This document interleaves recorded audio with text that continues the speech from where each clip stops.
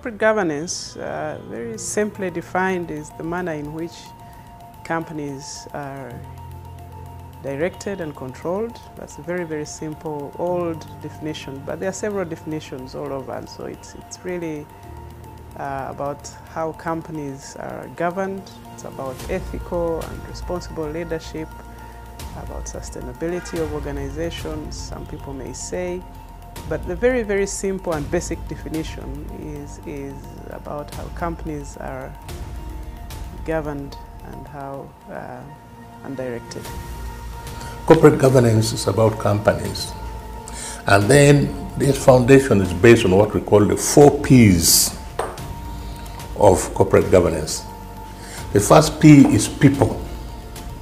So corporate governance is actually looking at people because companies are formed by people. The directors are people. The customers are people. The suppliers are people. So any company is formed by people, for people, you know, to serve people. So corporate governance, which deals with directing and controlling companies, is for the sake of people. The second P, which is the foundation corporate governance, is purpose. So for what purpose is this company formed by the people to serve the people? For what purpose? So each company has its own purpose. So corporate governance also makes sure that when you are directing and controlling a company, you do not digress to other things. You stick to your purpose. And the third P is what we call processes. So you need processes to achieve your purpose of serving the people.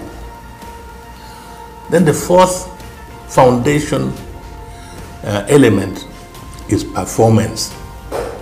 So corporate governance needs companies to perform using the processes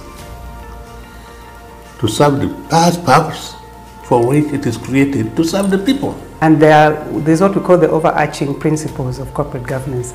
That is the transparency, accountability, responsibility, and fairness.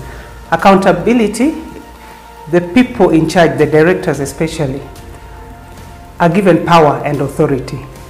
So they have to account for the exercise or lack of exercise of that power to the people who gave them that authority.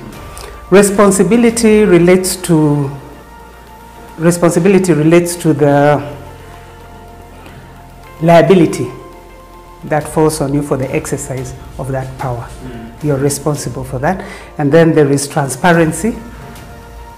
How are your reporting and your system set up so that anybody from outside reading your reports, for instance, mm. can understand what's happening financially and uh, or in the operations.